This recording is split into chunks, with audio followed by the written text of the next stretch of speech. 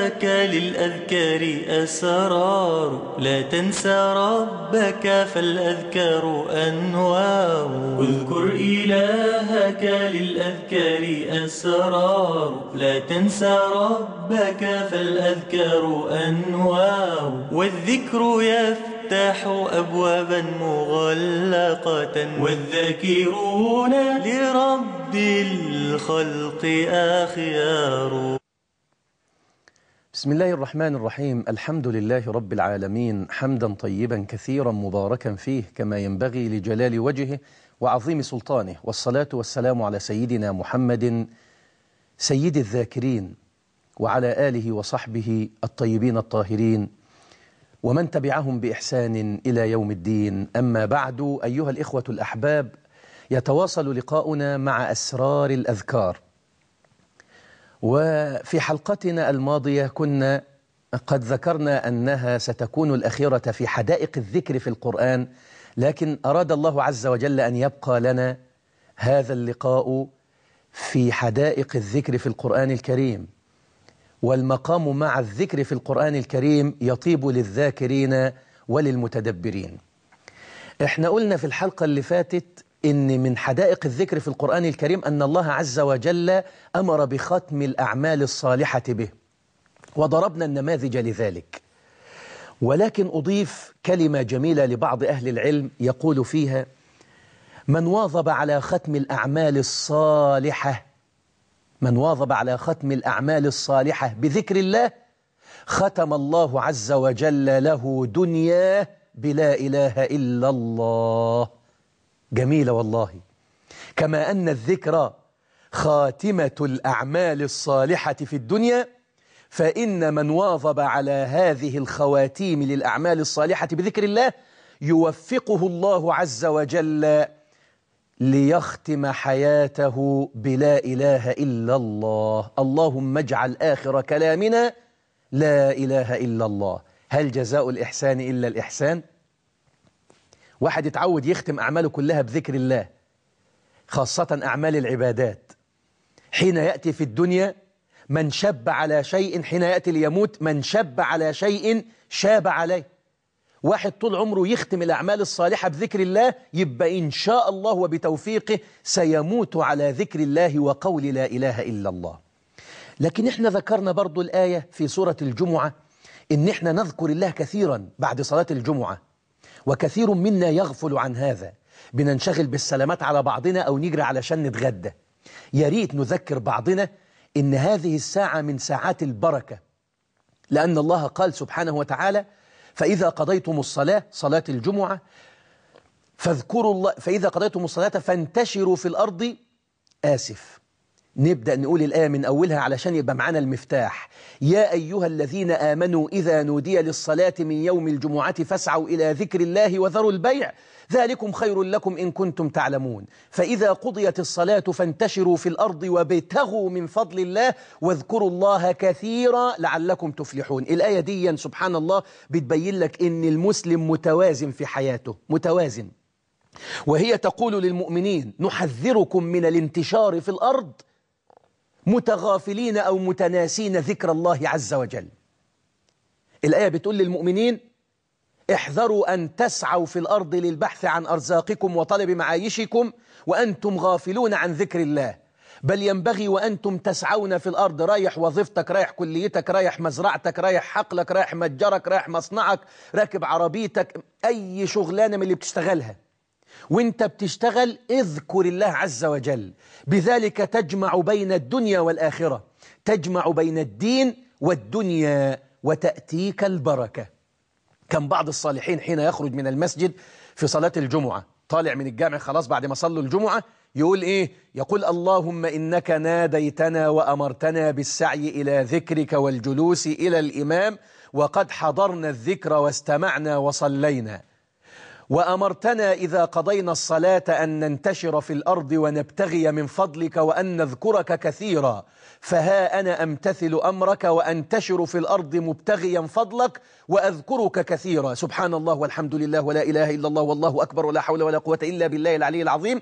كأن هذا الرجل الفاهم يستحضر الذكرى ليطلب البركة من الله تبارك وتعالى. الوجه التاسع من حدائق الذكر في القرآن الكريم أن الله عز وجل اختص الذاكرين بالانتفاع بآياته وتدبر كتابه وأنهم أهل الفهم. الآيات يعني المعجزات المبثوثة في الأنفس والآفاق وفي الأرض آيات للموقنين في الأرض علامات واضحات جليات وبراهين ساطعات وحجج قويات على أن الله هو الواحد خالق الأرض والسماوات. على أن الله هو الذي يستحق العبادة وحده دون أحد سواه. وفي الأرض آيات للموقنين. وفي أنفسكم آيات للموقنين أيضا. وفي أنفسكم أفلا تبصرون. طيب الآيات اللي موجودة تدل على وحدانية الله عز وجل كثيرة. لكن الذين ينظرون إلى الآية ويعرفون ما فيها ويتوصلون من خلال النظر فيها إلى التعرف على قدرة الله ووحدانيته هم الذاكرون الله عز وجل. أما الغافلون عن ذكر الله عافانا الله وإياكم فإنهم يمرون على الآيات والمعجزات والبراهين ولا يستفيدون منها بل يطمس على قلوبهم. فإنها لا تعمى الأبصار ولكن تعمى القلوب التي في الصدور. شايفين الآية والمعجزة لكن مش عارفين يستفيدوا منها. عينيهم مفتحة لكن قلوبهم مقفولة. طب أنا أفتح الإقفال اللي على قلبي بإيه؟ بذكر الله عز وجل. لو فتحنا أقفال القلوب بذكر الله تنفتح البصائر. فتبصر الآيات والمعجزات فتستفيد. يبقى إذا أكثرت ذكر الله عز وجل فتح الله عز وجل عيون بصيرتك في قلبك كما فتح عيون بصرك في وجهك فتستفيد من الآيات. ثم تقرأ كتاب الله عز وجل فتفهم وتتدبر ثم تنظر فيما حولك فتستفيد وتقدر وتدلي برأيك ويكون رأيك صائبا لأنك قد فتح قلبك واطمأن بذكر الله فأنت ترى بنور ذكر الله عز وجل. أين نجد هذا في القرآن؟ دي حديقة من حدائق الذكر في القرآن. إذا أكثرت من ذكر الله فتح الله نورا فتح الله النور لقلبك فأبصرت الحقائق وتجلت لك المعارف واهتديت إلى ما أراد الله منك. ده موجود في سورة آل عمران في الآيات اللي كلنا حافظينها وبنسمعها كتير من المشايخ يقرؤونها في الإذاعات وفي المناسبات. إن في خلق السماوات والأرض واختلاف الليل والنهار لآيات لأولي الألباب. في خلق السماوات والأرض واختلاف الليل والنهار ليل نهار دي حقائق كونية دي معجزات لله عز وجل في الكون دي آيات. طيب اللي يتدبر في ملكوت السماوات والأرض وفي الليل والنهار إيه اللي يحصل؟ وهو ذاكر لله كثيرا يهتدي يهتدي يفهم يتوصل إلى الله.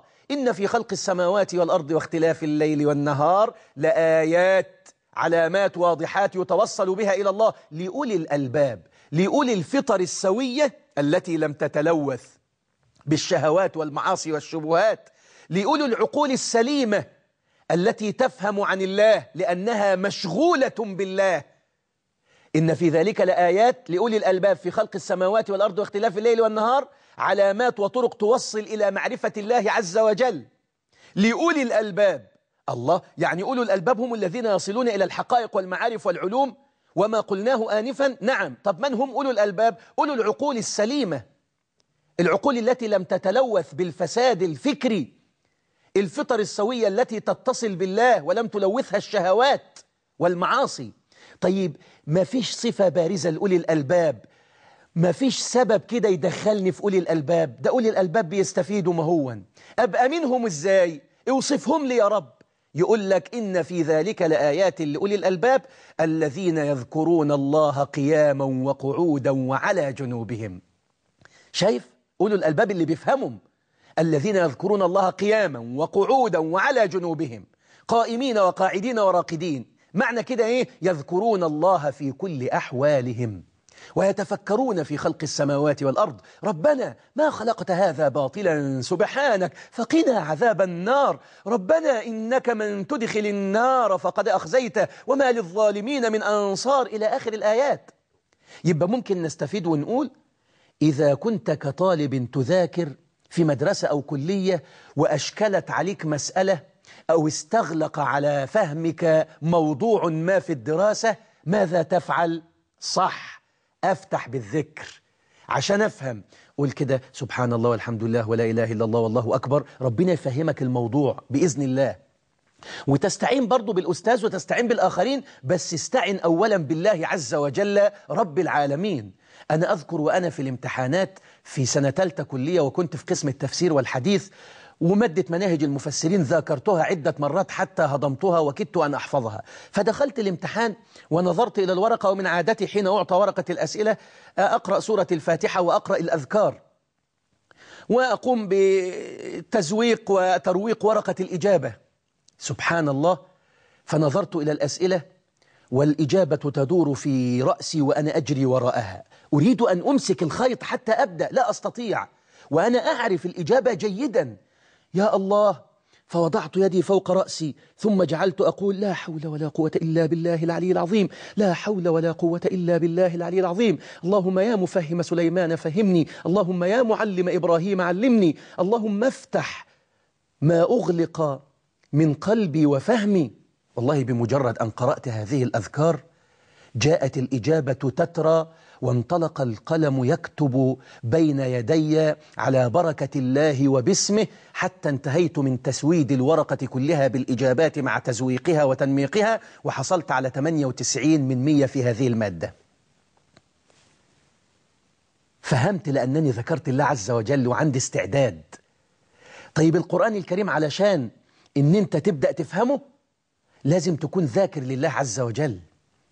فإذا قرأت القرآن فاستعذ بالله من الشيطان الرجيم. اللي جاي يفسد عليك ويشوش عليك فهمك حتى لا تفهم القرآن الكريم. الشيطان جاي لك علشان يقطع. أنت هتفتح المصحف وتقرأ الآيات. ومطلوب منك وأنت تقرأ أن تتدبر كتاب الله عز وجل وتتفهم ثم تعمل. انت عايز تقرا الشيطان يحاول يبعدك عن المصحف بكل سبيل. لو كنت قوي العزيمة ورحت واخد المصحف الشيطان ما بيركنش على جنب. بيجي يقعد يشغلك علشان يخليك تقرا بلسانك وما تفكرش ولا تفهم. لازم يكون معاك السيف. لما انت تمسك المصحف الشيطان عايز يقطع عليك التفكير والتدبر عشان ما تفهمش كلام ربنا. لازم تكون رافع له السيف اللي تقطع راسه بيه عشان تفهم كتاب ربنا. إيه السيف اللي يقطع رقبة الشيطان؟ الاستعاذة ذكر الله. فإذا قرأت القرآن فاستعذ بالله من الشيطان الرجيم. حينئذ يفتح الله عز وجل لك أبواب المعارف والعلوم القرآنية. أسأل الله أن يفتح مغاليق قلوبنا بذكره. سبحانك اللهم وبحمدك أشهد أن لا إله إلا أنت. أستغفرك وأتوب إليك. وصل اللهم على نبينا محمد وآله وصحبه وسلم.